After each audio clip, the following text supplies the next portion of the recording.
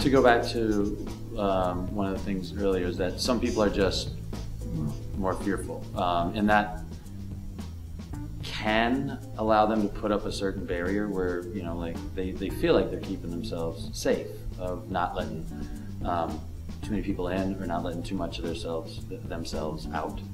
Um, and other people are just kind of like hey you know i'm i've been a dork for the last 25 years i'm comfortable with it now like i'm just gonna let my you know my dork flag fly Mhm. and whatever happens happens as opposed to those people who might be a little bit closed off so i think that that could be one thing um, and also that I think like you need the help of how you were raised to be really like really really good at it because it starts pretty early of you know of the idea of like sharing your thoughts and and being open to other people when when someone's talking it's probably a good rule to like shut up and listen you know and uh, to allow it to affect you and, things like that. So whether it's innate or um, nurtured I think that helps some people and it takes other people a little bit a little bit longer you know? Mhm. um, and and and neither of them are wrong. People learn at their own at their own pace you know? Um, but you get kind of